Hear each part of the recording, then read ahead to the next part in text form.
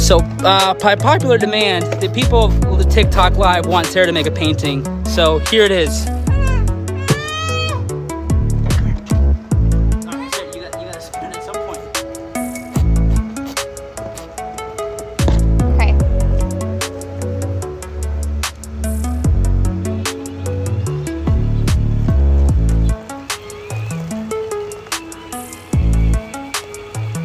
Babe, Cool. That's pretty dope. Okay. No, no, let, let him see. That's not bad.